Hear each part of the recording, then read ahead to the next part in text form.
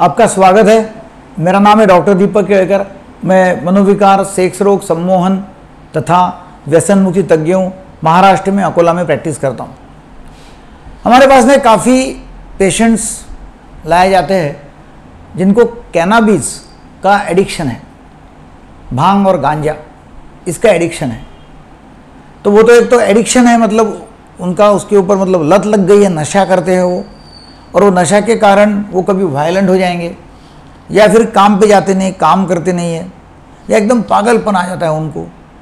या फिर वो जब लेते हैं बहुत ज़्यादा मात्रा में तो एकदम वायलेंट होना, मारपीट करना, वो करेंगे, या फिर अपना काम धंधा छोड़ देंगे, इसलिए हमारे पास में लाया जाता है।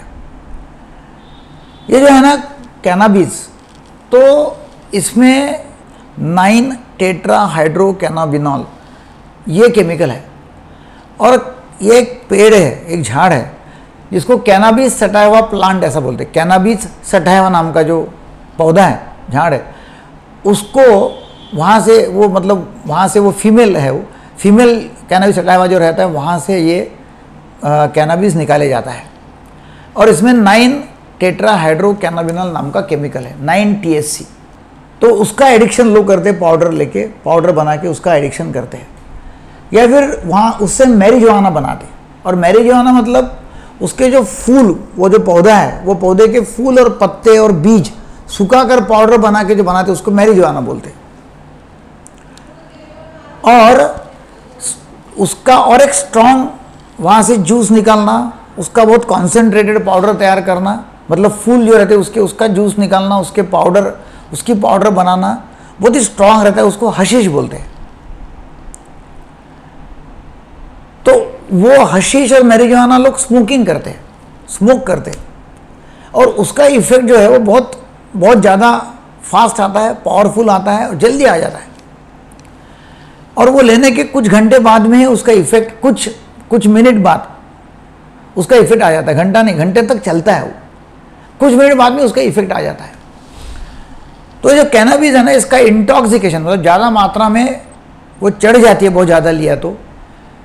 और वो खाने से, खाने में लिया मतलब चाय के साथ में लिया या उसके गोले बना के या लड्डू बना के खाया, जिसको भाँग बोलते हैं तो वो यदि लिया तो उसके परिणाम आने को टाइम लगता है और वो ज़्यादा समय तक चलते अच्छा ये जो कैनाबीज है, गांजा या भाँग या मैरिजुआना हशीश चरस तो इसमें होता यह है कि ब्रेन में मिजोलिम्बिक डोपामिनर्जिक रिवार्ड पाथवे करके जो एरिया है मिजोलिम्बिक डोपामिनर्जिक रिवार्ड पाथवे वो एक्टिवेट होता है, वो स्टिमुलेट होता है।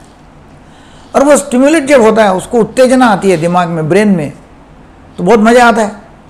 जब मज़ा आता है अच्छा लगता है तो फिर वो और लेता आदमी। मगर ज़्यादा मात्रा में लिया तो फिर प्रॉब्लम होता है। और ज़्यादा मात्रा में नहीं लिया, मगर रोज़ थोड़ा थोड़ा लिया तो उसका नशा चढ़ जाता है, उसकी लत लग जाती है, और फिर उसका उतना ही इफ़ेक्ट आने के लिए ज़्यादा ज़्यादा मात्रा में लेना पड़ता है। तो उसकी मात्रा हर तीसरे हफ़्ते बढ़ाना पड़ता है। अब उसमें होता क्या है कि इनको मतलब हाथ पैर या हाथ पैर चलाने में या अपना अपना बॉडी का गेट मतलब तोल जाना और हाथ पैर में तालमेल नहीं रहना, चलने में तालमेल नहीं रहना, ऐसा हो जाता और लड़खड़ाते चलते रहता आदमी। बहुत ज़्यादा मात्रा हो गई तो। उसको बहुत ज़्यादा खुशियाँ आती है। बहुत खुश, बहुत हँसी मज़ाक करने वाला व्यक्ति, बहुत ऐसे फालतू जोक काटेगा, बहुत हंसेगा और बहुत ज़्यादा उसको आनंद लगता है, वो अवस्था में। उसको ऐसा लगता है कि समय जो है ना बहुत आराम से चल रहा है मतलब टाइम पास नहीं हो रहा, ऐसा टाइम जो है, समय स्थिर हो गया ऐसा उसको लगता है।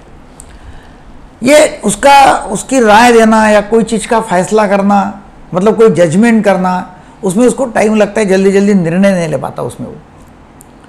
वो व्यक्ति अकेला बैठना पसंद करता है, उसकी आँखें लाल हो जाती है भूख ज़्यादा लगती है, मुँह में सूखापन आ जाता है, सीने में धड़कन हो जाती है, बीपी बहुत ज़्यादा शूटअप हो सकता है, बहुत ज़्यादा कम हो जाता है, सेक्स की इच्छा कम हो जाती है और उसको अलग अलग भास हो सकते हैं। मतलब भ्रम हो सकते हैं कि स्पर्श का, चमड़ी का भ्रम, आँखों का भ्रम, कान का भ्रम, ऐसा उसमें हो सकता है। उसे लगता है कि लोग अपने बारे में बात कर रहे हैं क्या? लोग कोई अपने बारे में सोच रहे क्या? ऐसा उसको लगता है। उसको कोई दर्द नहीं महसूस होता। ये जो बहुत मजूरी करने वाले लोग हैं या बदन की मतलब शारीरिक श्रम करने वाले लोग हैं ना बहुत दर्द करता है उनको तो फिर वो ये नशा करते हैं ताकि उनको दर्द महसूस नहीं होता। और अच्छा लगने लगता है ना। इसलिए वो लत धीरे धीरे धीरे उसका जो कंजम्पशन है वो बढ़ते जाता है। तो ऐसा ही कैनाबिस इंटॉक्सिकेशन है और ऐसे बहुत सारे आपको लोग मिलेंगे कि वो भाँग या चरस या हशीश या अफू मतलब ये लेंगे और आ, उसकी लत लेके लगा के नशाखोरी करेंगे। और अपना जीवन बर्बाद करेंगे। उसमें उनको पागलपन भी आ सकता है, या उनकी डेथ भी हो सक, हो जाती है, मर जाते हैं। ये नशा करते करते। उनका इलाज करना बहुत ज़रूरी है, और उनका इलाज करना संभव है। पॉसिबल है, उसको हम एडमिट कर लेते हैं, और एडमिट करते उसको सिम्टोमेटिक ट्रीटमेंट करवा के, लक्षण जो जो है उसका ट्रीटमेंट करवा के उसका इलाज करते हैं। तो आप, ऐसा कुछ रहा तो ये आप कांटेक्ट कर सकते हैं, हमें नीचे नंबर दिए हम आप संपर्क कर सकते हैं ऑनलाइन कंसल्टेशन आप कर सकते हैं, या पेशेंट हमारे पास में ला सकते हैं, हमारे यहाँ पेशेंट के साथ में रहने की सुविधा है, और एक दूसरा हॉस्पिटल है जहाँ पेशेंट को रिलेटिव के अलावा हम भर्ती करते हैं, उसका पुनर्वसन करके उनको एडमिट करते हैं। जैसे काफ़ी कैनाबीज के भाँग के या हशीश के पेशेंट हमारे पास में एडमिट होते हैं, उनका इलाज कर लेते हैं। या आप ज़रूर लोगों को शेयर करो सब्सक्राइब करो ताकि ज़्यादा से ज़्यादा लोगों को ये मालूम पड़ेंगी कि ये इंटॉक्सिकेशन का इलाज कैसे करना है एडिक्शन का इलाज कैसे करना है और लोगों को अच्छा जीवन कैसे देना है। हमारा जो लक्ष्य है वो है सबके लिए मानसिक स्वास्थ्य और व्यसन मुक्त भारत। इसमें आपका भी हाथ लग जाएगा, आपकी भी पार्टनरशिप हमको मिल जाएगी। Thanks for watching the video